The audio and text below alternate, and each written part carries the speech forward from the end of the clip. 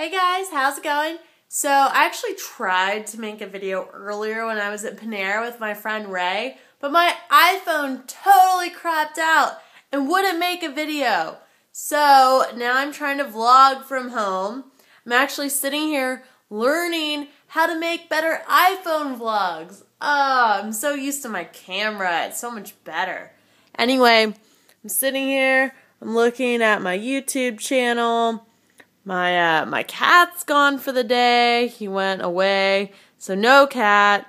Hanging out. Gonna hit the gym tomorrow morning. I mean, it's a pretty chill evening at my house right now. Uh, someone asked earlier. They said, "Hailey, oh my gosh, you're like always working. You're like never home. You're super busy." This is a little bit true. It's a little bit true. So um, I'm always doing something kind of weird. But uh, let me just show you guys a few things in my room since I'm at home and it's late at night.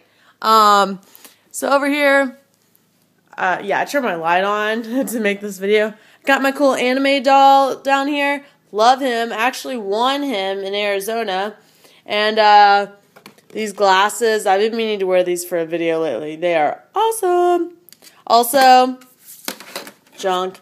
The next Hunger Games book, I um actually have read the other two, but I never read the original one because I saw the movie instead.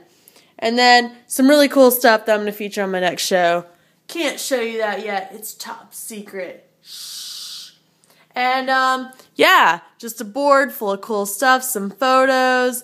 Uh, I write I write goals on my board just like everyone else. I'm like a little kid in kindergarten. I'm like, one day when I grow up, I want to do this.